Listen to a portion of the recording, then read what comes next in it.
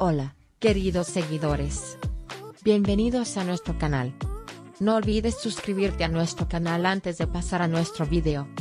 Diviértete con nuestros vídeos de análisis de noticias de revistas. La nueva amante de ojos esmeralda de Jalil. Aquí está la foto esperada.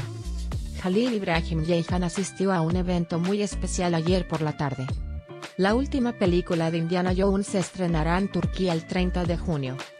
Jalil Ibrahim Yehan asistió al evento justo antes del estreno.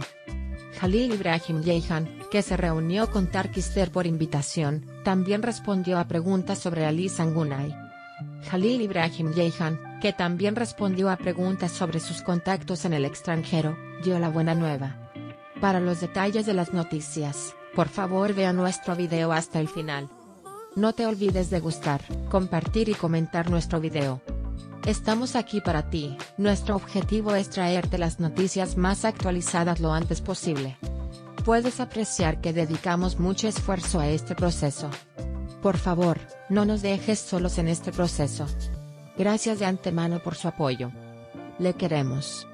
Vayamos a los detalles de la noticia. Jalil Ibrahim Yehan ha estado apareciendo en los estrenos de cine durante dos días. Jalil Ibrahim Yehan nunca se reunió con Osnur Kula, y Pekarkan y Julia Diken en el estreno de la película Haile, que tuvo lugar en los últimos días. Esta situación no escapó a los ojos del público. Anoche asistió al estreno de la última película de Indiana Jones, uno de los clásicos del cine. Jalil Ibrahim Yehan. Al asistir a esta gala, también dio a entender que participará en una producción internacional. Jalil Ibrahim Yehan, que también se reunió con su amigo músico y arreglista Tarkister, parecía estar de buen humor en esta gala. Aunque muchos dicen que Jalil y Vidan Munku, la organizadora de la noche, son amantes, Vildan está casada y, que yo sepa, Jalil no tiene a nadie en su vida. Adiós por ahora, nos vemos en nuestro próximo repaso. No olvides suscribirte a nuestro canal y compartir nuestro vídeo con tus amigos.